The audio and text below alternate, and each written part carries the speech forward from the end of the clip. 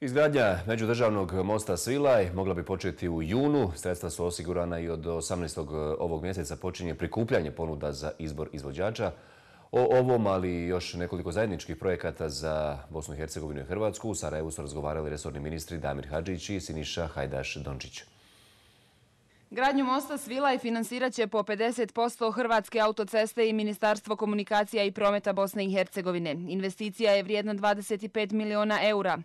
Most će povezivati Hrvatsku i Bosnu i Hercegovinu autocestom na koridoru 5C. Bosna i Hercegovina je sa svoje strane završila praktično sve obaveze koji se e, tiču izbora nadzora nad ovom poslu, to je IG Banja Luka. E, završili smo sve potrebne e, predradnje i ja vjerujem da danas više neće biti baš nikakvih problema u realizaciji gradnje ovoga mosta koji na određeni način otvara mogućnost za gradnju i 10 km e, autoceste od Ođaka prema Svilaju. Natječaj će biti gotov za taj most, dakle sada 17. 18. 3.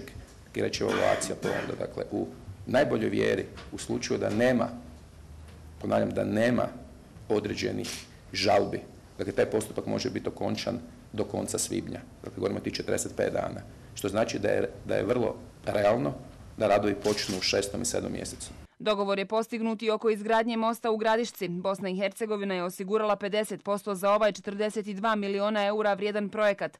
Očekuje se izdavanje građevinske dozvole kako bi radovi na izgradnji mosta i pristupnih cesta mogli krenuti početkom naredne godine. Mi paralelno u narednih tri mjeseca dakle, imamo revidiranje projekta dakle, koje ključuje pristupne ceste, imamo novu studiju utjecaja na okoliš, dakle sukladno, reći ću najjednostavnije naturi 2000 i imamo predlaganje ne samo mosta, nego i pristupnih cesta u operativni program, nazovimo to promet, dakle koji mi pregovaramo dakle, s Europskom komisijom. Najavljeno je preuzimanje potpune kontrole nad BH nebom. Potpisane su ministarske izjave i Bosna i Hercegovina je dobila političku podršku Republike Hrvatske da kontrolu nad svojim nebom preuzme do aprila 2014. godine.